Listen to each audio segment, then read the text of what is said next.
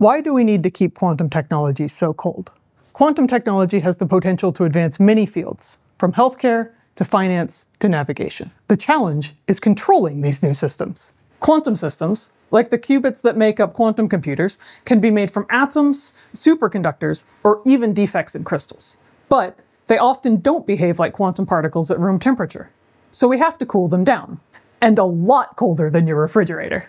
This takes away much of their energy and makes them easier to work with. To make atoms cold, like the ones in my lab, this means using super powerful lasers. These lasers act like wind, cooling atoms to just above absolute zero, before we use an even more powerful laser to keep them in place. A bit like a tractor beam in a science fiction film. We hope to use our very cold atoms as sensors for motion and electromagnetic fields, as well as new quantum computers.